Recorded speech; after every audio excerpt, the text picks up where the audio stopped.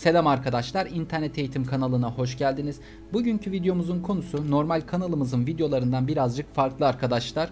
Bugün konut kredileri çekerken sizden fazladan kesinti yapılan konut kredi masrafları, ekspertiz masrafları, dosya sigortaları bunları nasıl geri alırsınız, nasıl iade alırsınız bunu size adım adım göstereceğim arkadaşlar. Ben bu parayı geri aldım. Siz de benim gibi yaparsanız geri alacağınızı ümit ediyorum. Videoma başlamadan önce kanalıma abone olup videolarımı beğenirseniz sevinirim. Kanalım yeni bir kanal olduğu için desteğe ihtiyacım var. Bu videoyu paylaşalım arkadaşlar. Paylaştığınız zaman bu kredi masraflarını, bu sigortaları nasıl alacağını bilmeyen arkadaşlar için bilgilendirme videosu olur. Onlara da bir vesile olmuş olursunuz. Şimdi videomuza geçelim. Önce şöyle söyleyeyim arkadaşlar. Yaklaşık 9 ay önce ben bir konut kredisi kullandım. Gördüğünüz gibi bu şekilde yapmış olduğum işlemleri sırayla yazdım. Ev alımı için bankaya ödenen ücretler. Kredi tutarı 205.000 TL. Ben 205.000 TL'lik kredi kullandım. 0.79 faiz oranıyla Vakıfbank'tan çektim arkadaşlar. Devlet bankalarında o zaman böyle bir indirim vardı. Faiz indirim vardı. Ben de bundan faydalandım. Ama faydalanırken benden fazladan kesilen gördüğünüz gibi sarı panjur sigortası 355.10 TL, can kurtaran sigortası 325 TL, ferdit kaza sigortası 300 TL, hayat sigortası 2357.37 TL, DASK 337.11 TL, ekspertiz ücreti 955.94 TL, kredi tahsis ücreti 1025 TL. Toplam 5655.52 TL benim hesabımdan kestiler arkadaşlar. Ben de çok sinirlendim bu krediyi kullanırken yani bu sigortaların bakın 1, 2, 3, 4, 5 tane sigorta yaptılar arkadaşlar. Ben krediyi çekerken toplam 5 sigortadan 2 tanesinin zorunlu olduğunu söylememe rağmen bana eğer bu 5 sigortayı yapmazsanız krediniz onaylanmaz diye diretip bana bu sigortaları yaptırmaya, imza atmaya mecbur bıraktılar arkadaşlar. Ki öyle oluyor. Bankaya kredi çekmeye gittiğinizde bunları yapmak zorunda oluyorsunuz.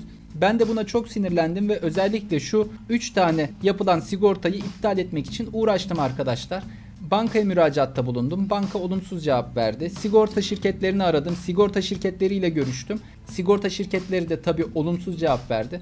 Ben de şu şekilde bir işlem yaptım arkadaşlar. Önce nasıl yapılacağını size göstereyim.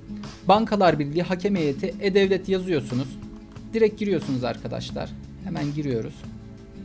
Nereden müracaat ettiğimi bu şekilde görebilirsiniz. Şimdi bu sayfaya geldik. Gördüğünüz gibi burada toplam 4 tane müracaat var. Şu reddi düşünmeyin arkadaşlar. Bu redle ilgili Bankalar Birliği'nin bir açıklaması vardı. Onunla ilgili yeniden müracaatta bulundum. Şurada gördüğünüz gibi. Burada ekspertiz ücreti iadesiyle ilgili ben bankaya müracaat ettiğimde olumsuz yazı almıştım. Olumsuz yazının süresinin e, güncel olmadığı için tekrardan müracaat etmeniz gerektiğini söylediler ve ben tekrardan yaptım. Bu değerlendiriliyor arkadaşlar. Birincisinde sigorta ücreti iadesi İkincisinde kredi tahsis ücreti iadesi var. Gördüğünüz gibi tebliğ edildi. Ben bunları tebliğleri de göstereceğim size arkadaşlar. Buraya nasıl başvuru yapıyorsunuz? Hemen bu sayfaya geldiğinizde hemen yeni başvuru diyor arkadaşlar. Buraları sırayla takip ediyorsunuz arkadaşlar. Sizden istenilen bazı belgeler oluyor. O belgeleri tamamlayıp müracaat ediyorsunuz. Müracaat ettikten sonra şu numaradan arayıp kontrolünü yapabiliyorsunuz arkadaşlar. Ben müracaatımla ilgili size bilgi vereyim arkadaşlar. Gördüğünüz gibi önce şu sigorta ücreti iadesi. Ben bu iadeyi nasıl aldım? Şimdi hemen mailime geliyorum. Ben buradan müracaat ettim. Gördüğünüz gibi 19.06.2020'de müracaat ettim. Süreç birazcık geç işledi ama aldım arkadaşlar. Bu yapılan şu 3 tane sigortayı iptal ettirdim. Onun da belgesini size göstereceğim şimdi arkadaşlar. Şimdi mailimi açtım. Şuradan gördüğünüz gibi Bankalar Birliği'nin benim bu müracaatımla ilgili şuradaki 355.10 TL, 325 TL, 300 TL bunlarla ilgili vermiş olduğu karar arkadaşlar.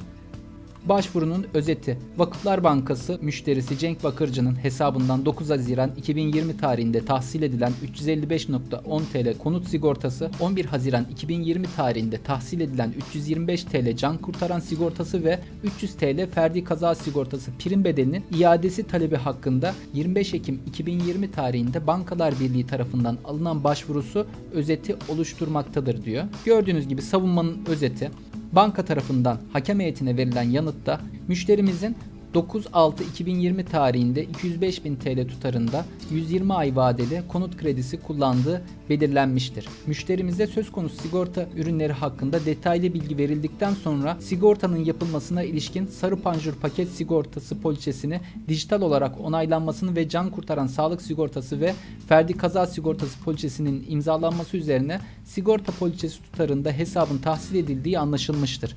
Müşterimizin bahse konu sigortalara ilişkin iptal talebini bankamıza 22.6.2020 tarihinde ilettiği belirlenmiş olup ferdi kaza sigortası poliçesinin 300 TL tutarındaki prim bedeli hesabına iade edilmiştir. Şimdi arkadaşlar Bankalar Birliği'ne müracaat ettiğimde daha sonuçlanmasını beklemeden ferdi kaza sigortasını direkt iptal ettiler. Şimdi banka burada uyanıklık yapıyor. Bu sigortaları size yapıyor arkadaşlar. Sonradan iptal ediyor. Yani gördüğünüz gibi bakın devam edelim. Can kurtaran sağlık sigortası ve sarı panjur paket sigorta poliçesi iade talebi olumlu değerlendirilmemiştir. Müşterimiz de konu hakkında SMS ile bilgi verilmiş olup tutar iadesini gösterir hesap hareketleri ekle tarafınıza sunulmuştur. Açıklamalarına yer verilmiştir. Şimdi arkadaşlar şöyle devam edelim. Burada kararın gerekçesi ve hukuki dayanağı var arkadaşlar.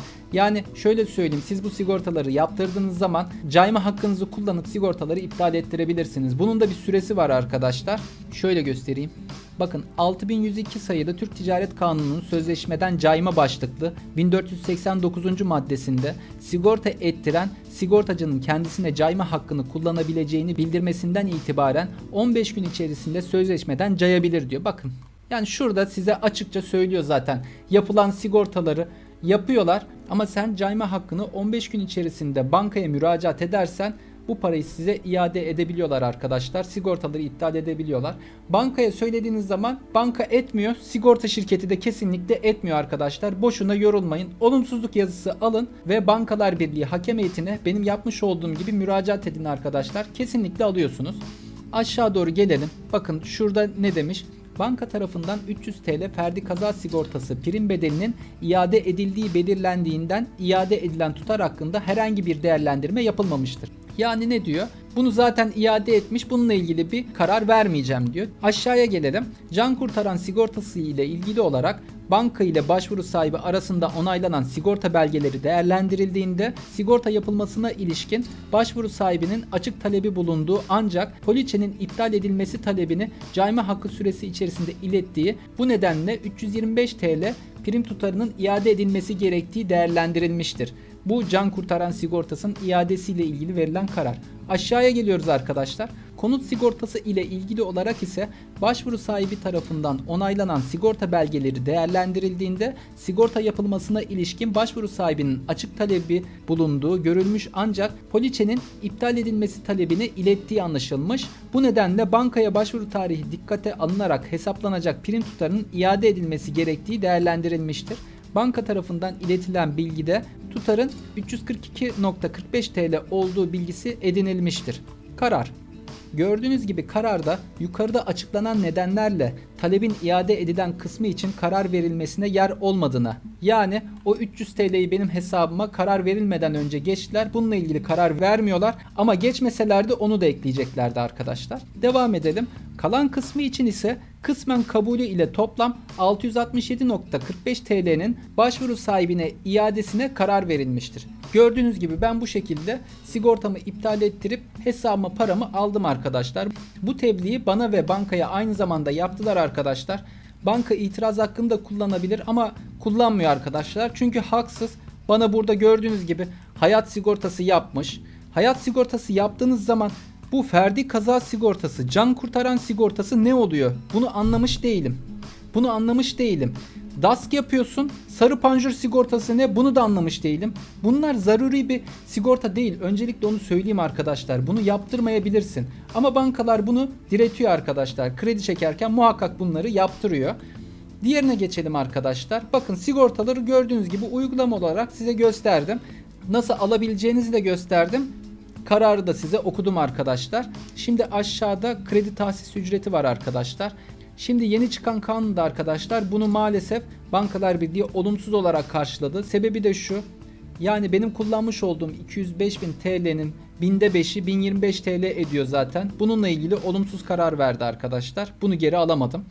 benim ekspertiz ücreti için ödemiş olduğum 955.94 TL'lik bir para ödedim arkadaşlar. Ben bunu ödedim. Ödedikten sonra bunun iadesi için müracaat ettim. Onu da bankayla şu şekilde olumsuz yazı aldım arkadaşlar. Çünkü müracaatta sizden olumsuz yazı istiyorlar. Benim haklı olduğumu düşündüğüm konu şu arkadaşlar. Ben toplam 955.94 TL'lik ekspertiz ücreti ödedim arkadaşlar. Banka bana bununla ilgili sadece dekont verdi. Yani bu hizmete karşılık bana bir fatura edilmedi arkadaşlar. Ben de bununla ilgili fatura istedim. Uygulamanın yanlış olduğunu düşündüğüm için faturayı bana vermedikleri için müracaat ettim arkadaşlar. Ben de bankayla yazıştım arkadaşlar bu ekspertiz ücretinin iade olmasıyla ilgili. Tarafıma fatura kesilmediği için bankadan olumsuz yazısını alıp gördüğünüz gibi şu şekilde tarayıp gönderdim arkadaşlar. Müracaat ettim değerlendiriliyor. Bununla ilgili haklı olduğumu gördüğüm konu şu arkadaşlar. Banka sizden ekspertiz ücretini alıyor. Size sadece dekont veriyor. Yalnız ekspertiz bankaya fatura kesiyor arkadaşlar. Ben ekspertizin bankaya ne kadar fatura kesildiğini biliyor muyum? Bilmiyorum. Ne kadar ücret ödendiğini bilmiyorum. Banka bana neden fatura yerine dekont kesiyor arkadaşlar? Bu usulsüz bir işlemdir. Bilginiz olsun. Bu şekilde müracaatın sonucunda da ekspertiz ücretini de geri alacağımı düşünüyorum. Siz de bu şekilde adım adım müracaat edip ücretlerinizi geri alabilirsiniz.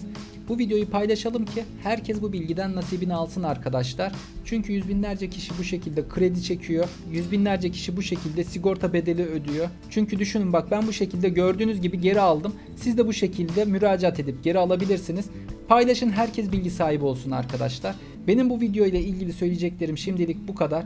Videoyu sonuna kadar izlediyseniz bu bilgilendirmeden faydalandınız demektir. Kendinize iyi bakın. Bir sonraki videoda görüşmek dileğiyle. Hoşçakalın arkadaşlar.